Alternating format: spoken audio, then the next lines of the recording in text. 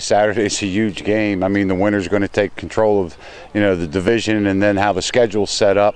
You know, our work's cut out for us. I mean, this weekend's a must-win, and you know, we're we're prepared right now. I mean, we've done as much as we can, you know, in the in the film room and on the practice, and now it's just a matter of getting things cleaned up to make sure that we execute.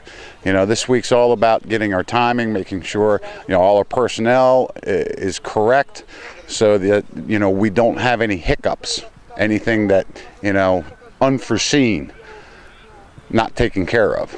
That's what we that's what we're doing this week as I said before, you know, there's the unforeseen, but, you know, we just have to go out and play our football game. You know, we need to control the tempo of the game.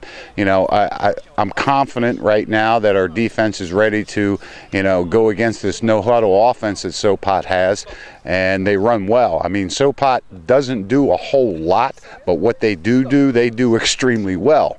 So they execute well. They've got good team speed. They got good team size, you know, and uh, we just need to go out, execute, play our football game, and you know, not get caught up in you know we have to stop this guy, we have to stop that guy. We we need to play within our system. I've really looked hard at the film and, and, and what Sopot's bringing to town, and you know uh, they, they've got a little edge at quarterback. I, I, think we have a little edge on the defensive line. I think they have a little edge on the offensive line. I think the running backs are the same. Um, as far as the receivers, you know, they've got some good receivers, and so do we have some good receivers. So, you know, I, I really this game's going to be more about the secondary play. You know, as long as we're able to uh, continue to play this whole game and not give up the big bomb. I mean, Sopot can hit you for that 50, 60, 70 yard pass in a blink of an eye. And, you know, we need to eliminate that and make them earn everything they get. If they catch a pass for 15 yards, it cannot be a 20, 30 yard pass. You know, yards after catch, that's going to be huge in this game. It's a football game, but it's it's one that we can win. We just can't go out and make mistakes. As far as how this game's going to play out, you know, I, I really can't say at the moment. I mean, you know, I, I have an idea. I, I think that you know it's going to be like it's been the last two times that they've gotten together. You know, it's going to be a close football game. You know, there's going to be maybe 40, 45 points scored total by both teams. You know, it, it's it's not going to be a kind of game where one team goes out and just runs over another. You know, this is this is two good teams getting together and you know seeing who's better at this point in the year. You know, it's a long season.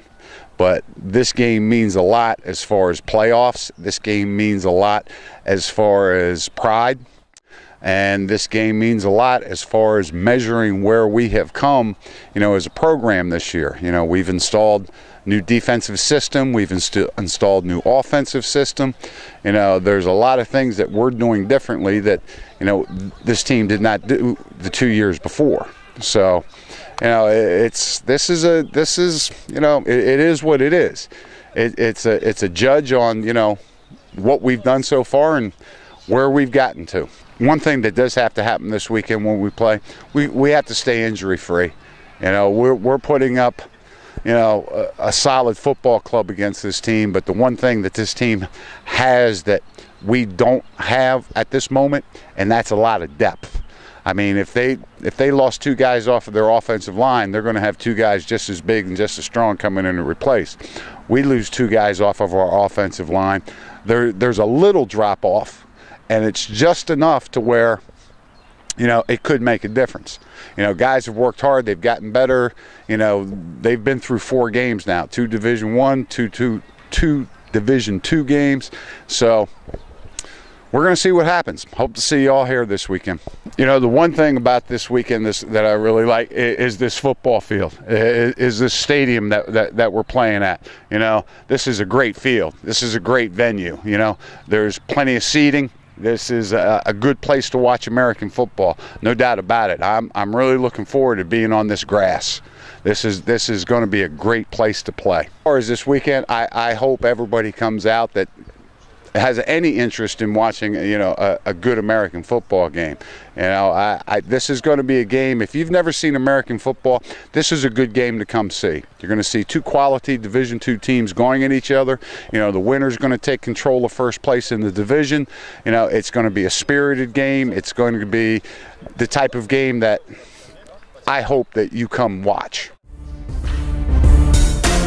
We're, we're playing here yeah. on Saturday? Yeah. Oh, sweet.